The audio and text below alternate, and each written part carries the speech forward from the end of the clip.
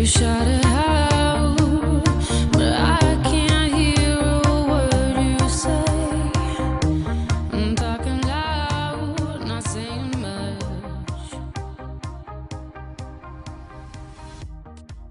po, ako na lang ang, national president na senior. Hindi na tayo congressman incumbent. Actually kahapon, merong ka, kagabi, merong. At ah, lumabas nga dyan, maraming kongresista, mga kasamahan ko, na tinatanong ko ulit, bakit nila hindi ma ma-resolve eh, sabi nga, may nagsabi nga sa akin, dapat dito pa-impeach na itong mga commissioner nito eh. Dahil kasi kahit anong, kahit anong decision mo, kailangan maglabas ka ng decision. Hindi naman pwede uupuan mo yung kaso. Kaya ngayon, tinanong ang COMELEC kung kailan ilalabas ang desisyon. Ang sabi ng COMELEC, 2 to 3 months. Ang sabi ng mga congressman, hindi pwede. In 3 weeks, kailangan. Hindi ba ba sapat yung limang taon? Yung problema na yan, hindi niya ma-resolutionan. Kailangan ma-resolve ito eh. Kailangan mawala na yung mga ano, yung mga trailing tactics sa ating pamahalaan. Dahil kasi, pag natihirap mga tao, binoto ka ng ngayong eleksyon nito, 1 million ang boto natin. Number 5 tayo, 900, 900,000, 88, 988,000, kulang na lang ng 12,000 sa 1 million. Number 1, number 5 tayo. Eh, hindi pa nila alam kung anong ano nila. Baka sila may problema eh. eh dahil kasi hindi sila marunong mag-desisyon eh. Tama.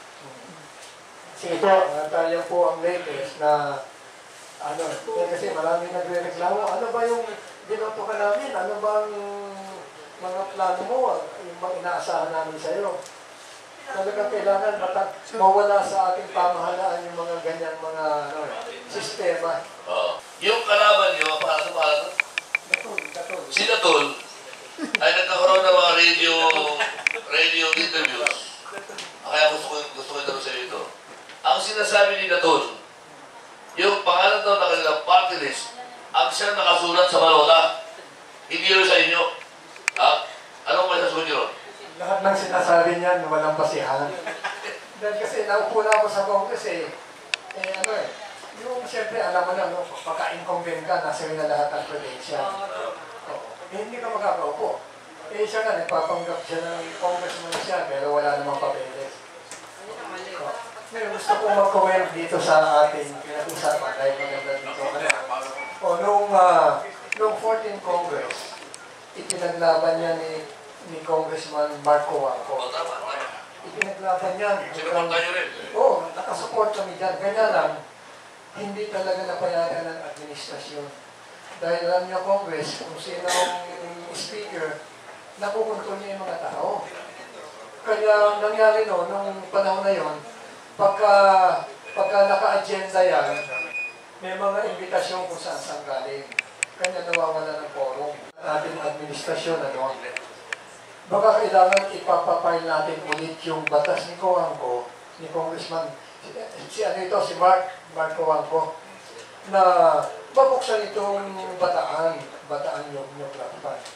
Ngayon, meron pa akong isang comment. Pasensya na dahil kadadating ko lang, ano, ang ating pamahalaan ay hindi malaman kung ano gagawin sa mga rehabilitation ng mga na, ng mga drug addict. Milyon-milyon yata ang nakapondo para sa rehabilitation nila. Well, Correct ka, Congressman eh. Sabi ni, pinilita ni Prof. Epi. Ano, ang dami ng mga negosyante, ano, nakahandang tumulong. tumulong. Oo, Baka yun nga, yun nga. Oo. Yun, kahit na sino tumulong, ano, ang napapansin ko, itong ating mga senior citizen. Ang senior citizen ay almost 12 million. Out of the 12 million, Senior citizen Para na yun. Adik of the 12 million, 2 million ang indigent. Ah, Itong indigent na ito, yung sakitin, Ah, ang ibig sabihin sa indigent ay ah, sickly, ah, with, ah, with disability, without any pension, walang income, walang tumutulong na Pati kamag ni Prof. Epi yan. Ngayon, bakit hindi nila tulungan ng mga matatanda indigent? Actually, itong matatanda na ito, ito ang nakapag, nakatulong to sa pamahalaan ng araw.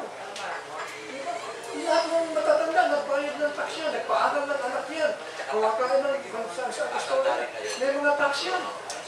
Alam niyo kung kung anong ano ngayon, ang, ang home of the aged, dadalawa lang. Yung home of the aged dito sa ano, yan sa SM. At saka yung home of the aged sa Tanay. Yung nga pa lang sa SM, Congressman, pinalayas na ninyo. Oh, pinalayas na. Hindi na sana. Alam mo yan.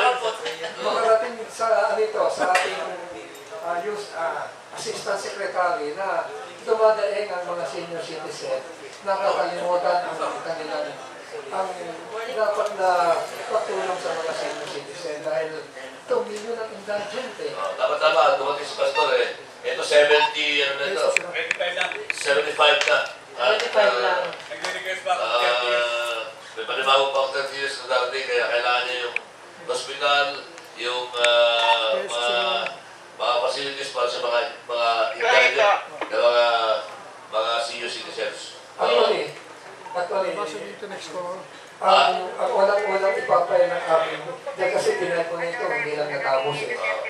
Magkaroon ng representative ang senior citizen sa lahat ng barangay. Actually, itong ILG at saka itong BSWD noong 2003, nagkaroon to ng, ng kasunduan na yung 1% ng mga LGUs sa bawat lugar ibibigay sa mga senior citizen. Eh, kung hindi ako nakaupo ng tatlong taon, nawala na yata yun.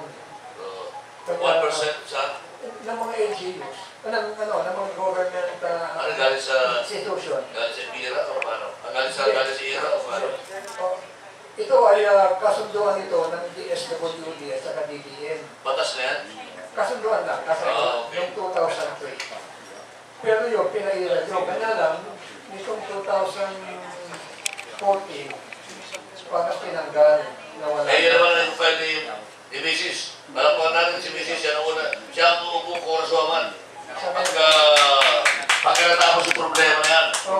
malapit na ang tapos. malapit na matapos ang kulit. Galaw-gaw, kay harot-harot tingnan maliksi Di mapigil ang gaslaw, galaw-gaw Ang lahat ginagalaw, napakaharot at pakialam Galaw-gaw, kung tawagin siya'y ganyan Kang karot, na trumpong tumatarang Galaw-gaw, nakalilitong masdan At haliparot kahit saan